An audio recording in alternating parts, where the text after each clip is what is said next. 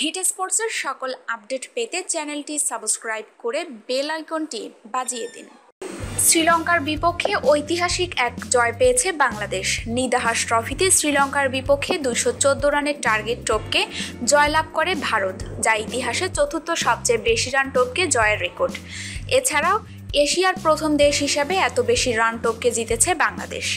এমন জয়ে শ্রীলঙ্কা ও ভারতের ক্রিকেট বিশেষজ্ঞদের থেকে দারুণ শুভেচ্ছা বার্তা পাচ্ছে বাংলাদেশ। তবে তার মধ্যেই এই জয়কে ব্যঙ্গ করল নিখিল নামে এক ভারতীয়। টুইটারে সে মুশফিকের ইনিংসকে ব্যঙ্গ করে লিখেছেন, এই জয়ী ইনিংসে মুশফিক একই সাথে অ্যাশেজ চ্যাম্পিয়ন্স ট্রফি ও বিশ্বকাপ জিতে নিয়েছে।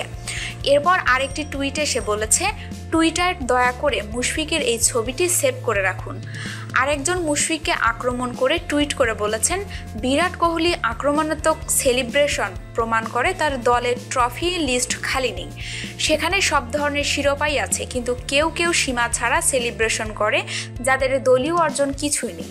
সেখানে লিখিল ব্যঙ্গাত্মক রিটুইট করেন। এটা ব্যাপার নয়। তোমার দশটি বিশ্বকাপ আছে নাকি? নেই। এটা বেশি পড়ো না।